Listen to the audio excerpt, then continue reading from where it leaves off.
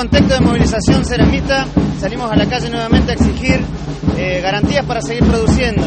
Nos parece que está bueno porque es en el contexto también de lo que discutimos en el Congreso Nacional del PTS, donde una de las resoluciones es hacer una gran campaña en defensa de las gestiones obreras. Los ceramistas estamos de pie, volvemos a salir a la calle y estamos con toda la energía para dar la pelea. Pero sin lugar a duda que la experiencia de Sanón y la experiencia de las fábricas recuperadas todavía tiene mucho para dar. Entonces, desde este punto de vista, lo, que estamos haciendo hoy es un paso enorme, un paso enorme de haber venido de tantos años por ahí de pasividad, de movilización, estamos nuevamente en la calle defendiendo nuestra fuente de trabajo.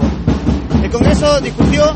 que hay que hacer una gran campaña nacional e internacional en defensa de la gestión obrera. Este paso que estamos dando hoy habilita y nos da toda la autoridad para dar esa pelea todos juntos. Estamos acompañados por una delegación de compañeros militantes del PTS que asumieron acá en la región a acompañar esta lucha. Los ceramistas nos estamos movilizando porque estamos defendiendo nuestras gestiones obreras. Sin lugar a duda, en este contexto de crisis, se reviva la idea de defender nuestra fuente de trabajo y las experiencias del control obrero son una salida ante la crisis del capitalismo. Es por eso que que en nuestra campaña de, de defensa de las gestiones obreras convocamos a todas, a todas a ser parte de una gran campaña nacional e internacional, porque nosotros estamos demostrando que la crisis de, lo, de, de los capitalistas no la vamos a pagar los trabajadores.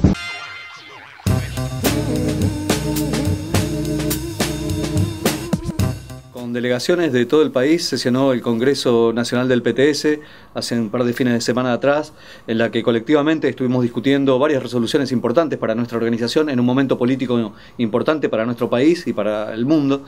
Eh, lanzamos y relanzamos la, una red nacional e internacional de diarios con la publicación de la izquierda diario en 11 países, en 5 idiomas, para que se escuche una sola voz, la voz de los trabajadores, las mujeres y la juventud que enfrentan al gobierno y pelean por sus derechos.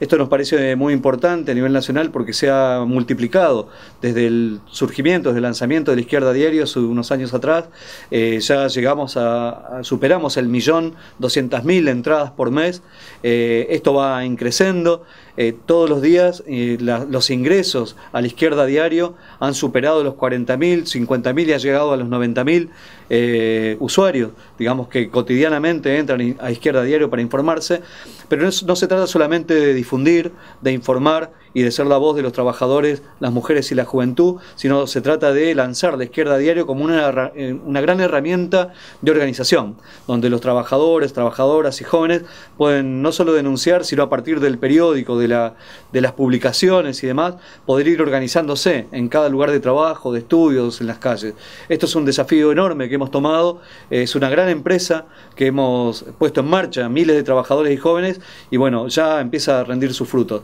En el caso de Neuquén, eh, lo lanzamos en un plenario de varios centenarios, centenares de compañeros y compañeras que de Río Negro y de Neuquén, en la que desde localidades del interior discutimos en forma conjunta el lanzamiento también por miles de corresponsales en toda la región para llevar la voz de los trabajadores, las denuncias, las opiniones. Va a estar esto también con secciones de cultura, este, de humor, de teoría, digamos, de internacional. Nos parece muy importante que los trabajadores y trabajadoras tengamos nuestra propia herramienta ligada a la izquierda, con una perspectiva de izquierda. Por eso invitamos a ser parte de esta red de, de, diarios, de esta red de corresponsales y a tomarlo como un gran organizador de los trabajadores y nuestras luchas también para los estudiantes y también para el movimiento de mujeres que acá en la región como Pan y Rosa se han propuesto viajar en delegaciones muy importantes hacia el encuentro nacional en los próximos meses. Así que bueno, los invitamos a colaborar, tenemos un gran trabajo por delante, pero bueno, esto ya empezó a funcionar. La Izquierda Diario